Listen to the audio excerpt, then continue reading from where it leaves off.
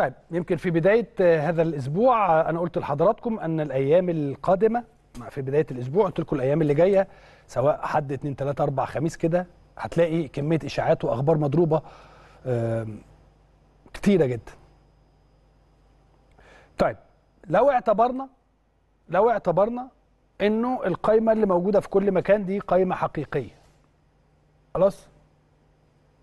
وهي أقرب للواقع بيني وبينكم هي أقرب للواقع. ولكن يعني الحقيقة القائمه أعلنت رسميا على الموقع الرسمي للفيفا. وبالتالي خلاص يعني خليني أقول لحضراتكم آه، إنه حراسة المرمى كابتن محمد الشناوي مصطفى شوبير وحمزة علاء ومحمد هاني وأكرم توفيق وخالد عبد الفتاح ومحمد عبد المنعم وياسر آه، إبراهيم ورامي ربيعة وعلي معلول وكريم الدبيس.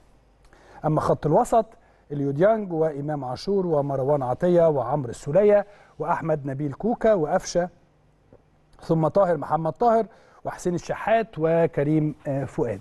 أما من آه، خط الهجوم أنتوني موديست وكهربا وبيرسي تاو.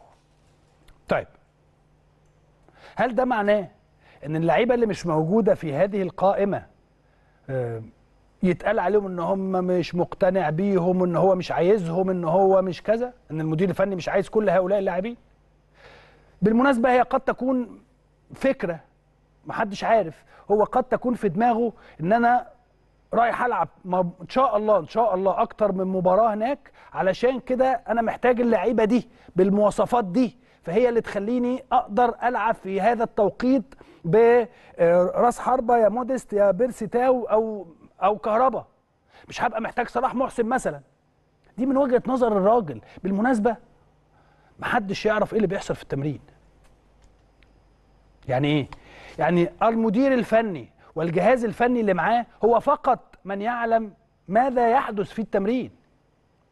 محدش عارف محدش يقدر يقول لك إيه أصله النهارده صلاح محسن كان كويس أصله النهارده إسلام كان كويس. أنا مش عايز أتكلم على حد بعينه. ولكن هي بالفعل رؤية فنية للمدير الفني. محدش عارف إيه اللي ممكن يحصل. فأنا الحقيقة بستغرب جدا جدا من الأخبار اللي بتقعد تتكتب كل يوم بنفس الطريقة وبنفس الشكل وبن... صلاح محسن لعيب كبير جدا. أحمد عبد القادر لعيب كبير جدا. كل محمود متولي لعيب كبير جدا. كل هؤلاء اللاعبين لاعبين كبار. ومثلوا النادي الأهلي وهيمثلوا النادي الأهلي الفترة اللي جاية إن شاء الله. مفيش أي مشكلة في هذا الأمر. ولكن هي رؤية فنية لمدير فني يرى أن الأفضل هؤلاء هم المجموعة الأفضل خلال هذه الفترة. من بعد مباراة شباب بلوزداد هتجد ان هذه المجموعة هي الأفضل خلال الفترة اللي بعد مباراة شباب بلوزداد. هو دي وجهة نظر الراجل. هي دي الطريقة اللي بيفكر بيها أي مدير فني بالمناسبة مش مش مارسيل كولر بس. أي مدير فني. مدير فني في مدير فني تاني يقول لك لأ أنا عايز آه، فلان الفلاني هو اللي يبقى موجود، واحد من الناس اللي مش موجودة يبقى هو اللي موجود. وجهة نظر فنية كلها صح الآراء الفنية كلها صح بالمناسبة يعني. ولكن لأنه أنا كمدير فني من من حقي إن أنا أشوف إنه ال- الرأس حربة ده هو الأفضل دلوقتي. أو أنا شايف إن أنا هلعب بطريقة معينة يتناسب معاها آه، فلان وعلان وترتان. لأنه أنا بشوف آه، كثير من العناوين العشوائية الحقيقة في بعض المواقع والصحف.